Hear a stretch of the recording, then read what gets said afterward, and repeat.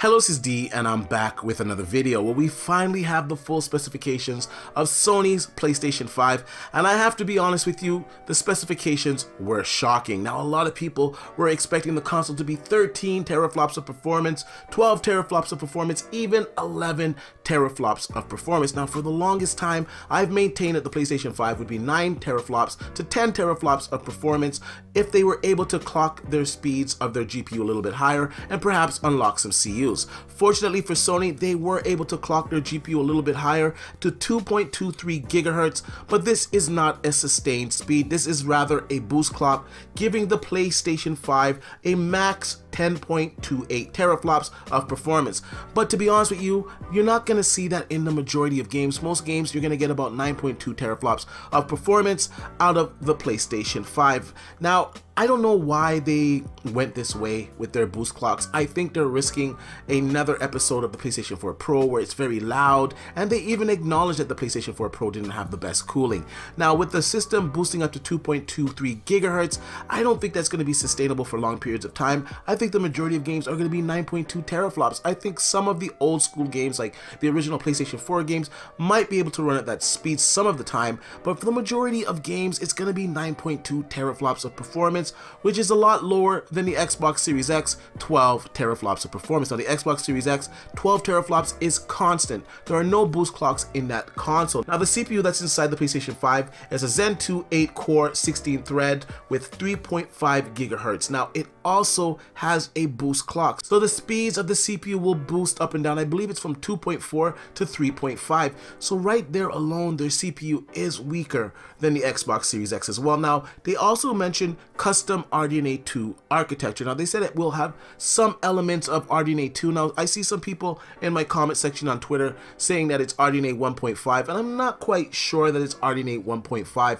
because they are able to clock it at 2.23 gigahertz. That is a really high clock, and the original original form of RDNA, like the first generation of RDNA cards, they're not capable of anywhere near those type of speeds. So I do think that the majority of the architecture that's on the PlayStation 5 GPU is RDNA 2. Now the ray tracing, they didn't really talk a lot about the ray tracing they did mention that the CUs will be handling some of the ray tracing. They're going to do some type of hybrid approach. Now, I'm going to hold off on my opinion on the ray tracing until I get more information on that. Nonetheless, it is kind of troubling that the PlayStation 5 is not looking up to par as the Xbox Series X in a lot of areas. Now, the one area that they do beat the Xbox Series X is the SSD. Now, the SSD reportedly is like 40 times faster or overall two times faster than the Xbox Series X SSD, and that's okay but in reality, that's going to lead to maybe three seconds less loading times. Now the Xbox Series X, from what we've seen so far, the games load like in four to five seconds. On the PlayStation 5, I think the games will load to one to two seconds, so it's not really a big difference there.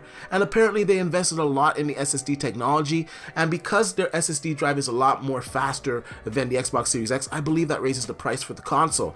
Now the SSD, the load times, uh, honestly tell you, two to three seconds difference.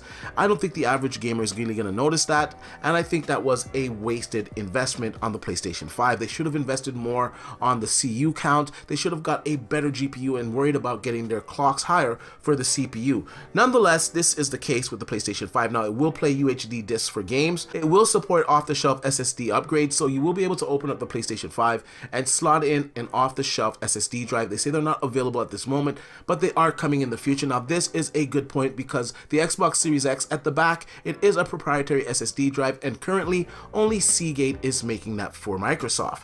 Now there's going to be over 100 top games that are backwards compatible on the PlayStation 5. So the PlayStation 5 doesn't even have backwards compatibility for all of the PlayStation 4 games, much less the PlayStation 3 games. I didn't hear anything mentioned about PlayStation 3 backwards compatibility. Now 835 gigabytes is the SSD size, once again smaller than the Xbox Series X, which is one terabyte of storage. Now, I, honest to tell you, I'm, I'm a little bit disappointed.